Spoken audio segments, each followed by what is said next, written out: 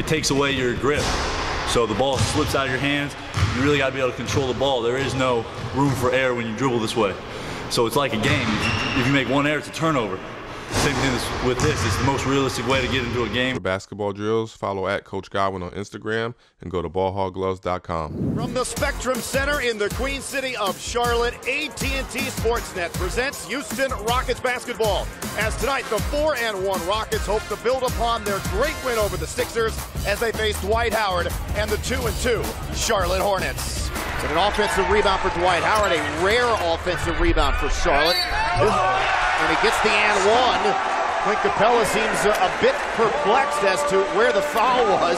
But Dwight Howard, as you mentioned, not a very good free throw shooter, goes to the line here for the and one. Let's see if we can see where the foul is. Dwight Howard still just so strong.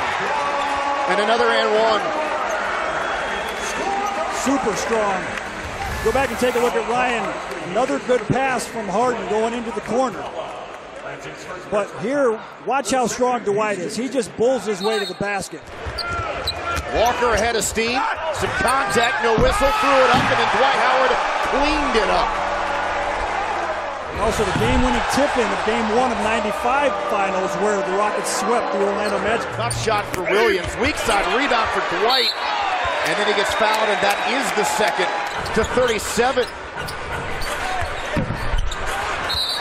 And then Capela holding Howard. That's his third.